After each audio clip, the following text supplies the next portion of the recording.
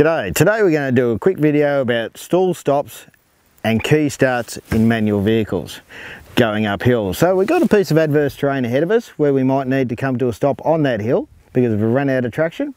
We need to stop and secure the vehicle and then we need to securely get the vehicle back down to the bottom of the hill.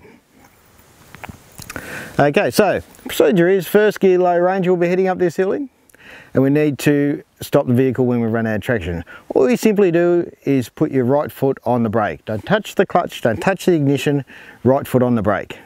Once we've stopped the vehicle, then we need to secure the vehicle. Engage the park brake and then turn the ignition back one click. At this stage, we've got three forms of braking working for us. So we've got our foot on the brake, we've got our park brake engaged, and we got the engine compression holding us in gear on the hill. We're as safe and secure as will be. And if a muddy boot were to slip off a brake pedal, we've still got two forms of braking holding us to the hill.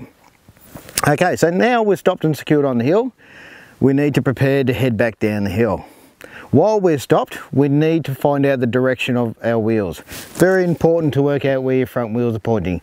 Look on YouTube, four-wheel drive rollovers, and I guarantee you they have no idea when they start backing back down that hill where their front wheels are pointing. Find out where your wheels are pointing. Now this is the only time in a manual vehicle while you're stopped and secured that you touch the clutch. Well, I like to refer to it as angel gear. Once you have got the clutch disengaged, you're gonna need an angel.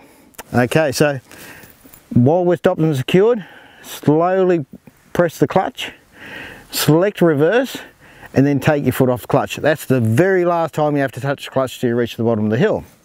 So we're in reverse and we need to get back down the hill. Slowly disengage the park brake and then even more cautiously so we don't induce a slide, take your foot off the foot brake. Now we'll be resting on the compression of the engine. Check behind because guarantee you when I get stuck, there's kids behind me or even young adults behind me taking photographs, putting it on Facebook even before I'm down the bottom of the hill. So make sure you check and clear behind, it's very important. Now we're in reverse, our, our park brake is disengaged, our foot brake is off the, off the brake pedal and we're ready to head back down.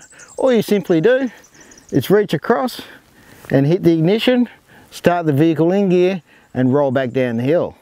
That's it. Okay, let's get to it.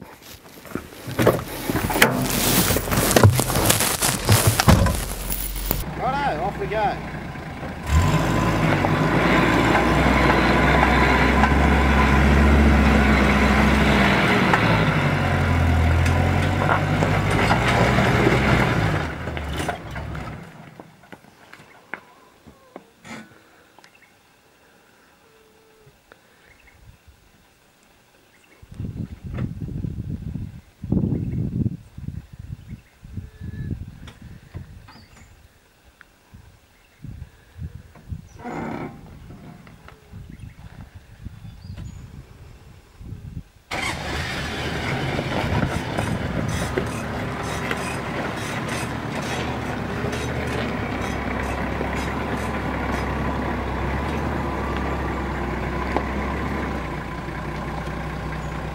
As that.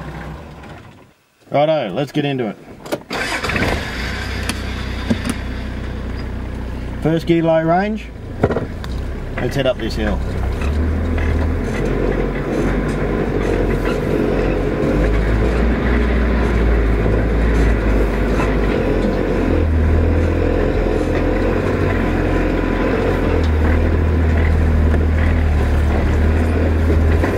Okay, I'm stuck.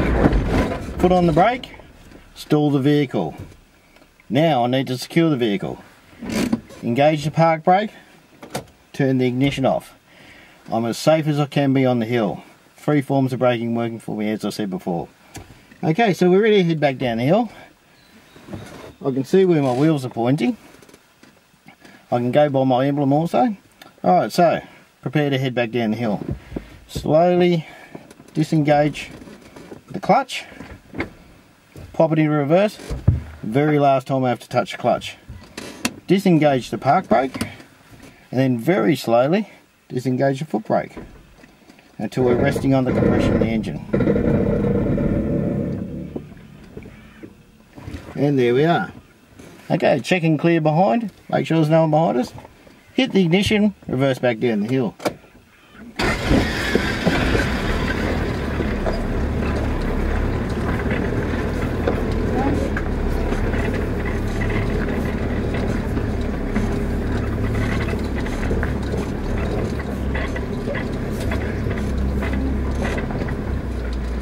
And that's it.